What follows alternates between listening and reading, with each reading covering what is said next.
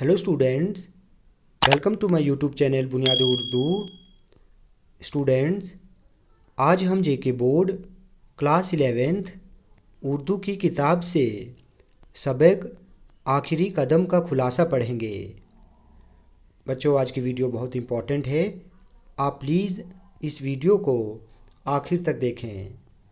तो चलिए स्टार्ट करते हैं। डॉक्टर जाकिर हुसैन का मजमून आखिरी कदम एक नेक और सखी आदमी की कहानी है। बच्चों, सखी का मतलब है दरिया दिल, यानी बड़े दिल वाला।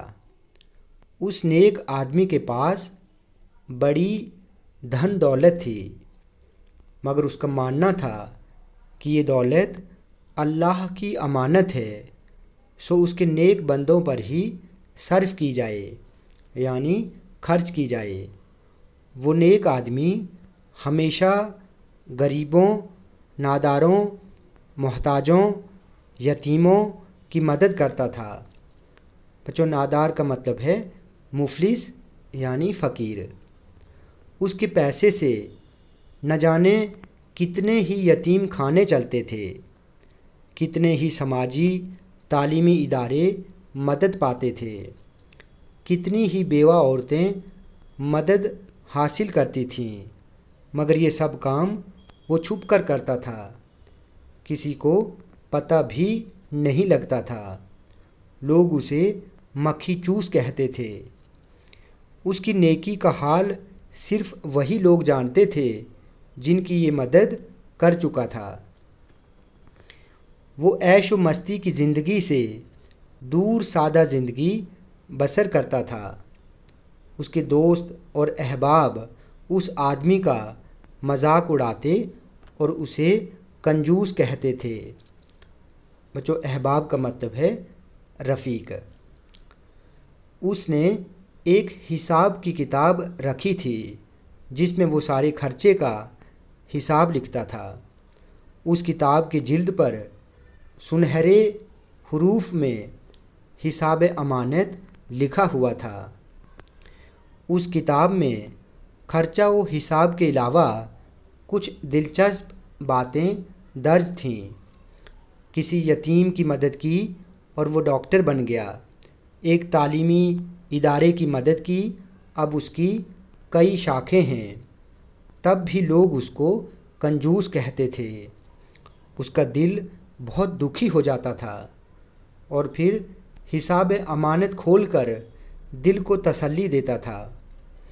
नेक आदमी का इरादा था कि वो अपनी किताब हिसाब अमानत लोगों के लिए छोड़ जाएगा, ताकि उसके जाने के बाद उनको उसकी नेकियों का इल्म हो, जो हर वक्त उसे कंजूस कहते थे।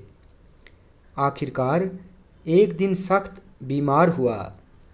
उसकी तबीयत मुसलसल बिगड़ने लगी, यानी लगातार बिगड़ने लगी। नेक आदमी को एहसास हो गया कि अब उसके जाने का वक्त आ पहुँचा है।